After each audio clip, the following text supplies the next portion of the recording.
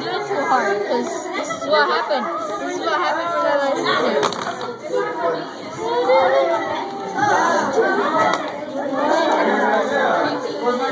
Girl. Get like your shot and we're gonna move.